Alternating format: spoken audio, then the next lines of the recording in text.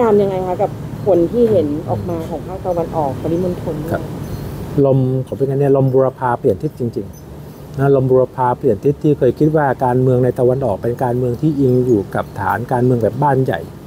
นะครับแต่เที่ยวนี้ลมบุรพามันเปลี่ยนพร้อมกับความเปลี่ยนแปลงเป็นพายุใหญ่ที่มันมันสะสมมวลความรุนแรงของพายุลูกนี้มาหลายทศวรรษ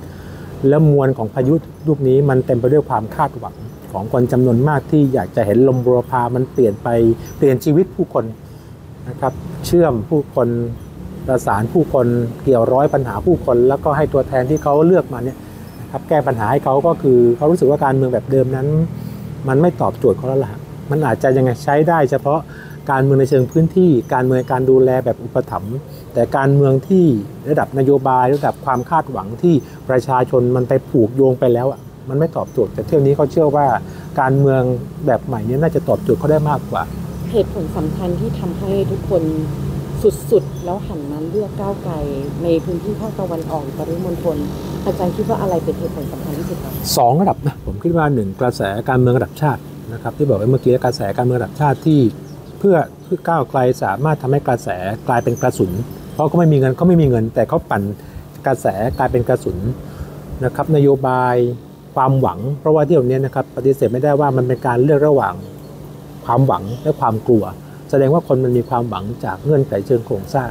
ระดับชาติ แล้วก็ประการต่อมาในตะวันออกเนี่ยมันเป็นภูมิภาคที่มันมีพลพลวัตการพัฒนาเศรษฐกิจการเมืองค่อนข้างสูง การพัฒนาแบบนี้มันมันทำให้คนส่วนหนึ่งได้ผลประโยชน์ แต่มันทิ้งคนจำนวนมากเอาไว้ที่ทำให้อยู่กับปัญหา แล้วบวกกับปัญหาเหล่านั้นเนี่ย ตัวแทนที่มีอยู่ที่ก่อนหน้านี้มันไม่ได้ทำหน้าที่เต็มที่ คนก็อยู่กับปัญหาเสียงประชาชนนะฮะที่ผมชอบพูดกันเสียงของคนจน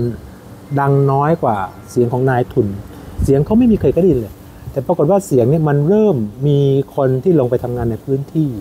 ที่ไม่ใช่บ้านใหญ่ที่ไม่ใช่ตระกูลแบบเดิม แต่เป็นคนอยู่ในพื้นที่เข้าไปทำงานมากขึ้น สามารถที่จะจุด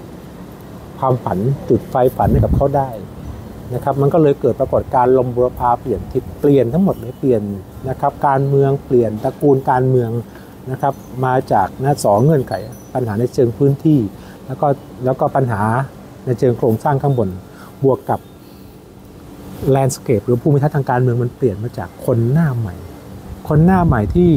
เข้ามาอยู่เป็นพลเมืองหลัก นะครับในจังหวัดเหล่านี้ก็คือกลุ่มชนชั้นกลาง ที่คนเหล่านี้ไม่ได้อิงอยู่กับตระกูลใดตระกูลหนึ่ง เป็นกลุ่มคนที่ดูแลตัวเองได้ เป็นกลุ่มคนที่เสียภาษี และเป็นกลุ่มคนที่รู้สึกไม่พอใจกับภาพจำทางการเมืองแบบเดิมนะครับเชื่อมร้อยกับการเมืองข้างบนกระแสมันก็เลยไปในทิศทางเดียวกัน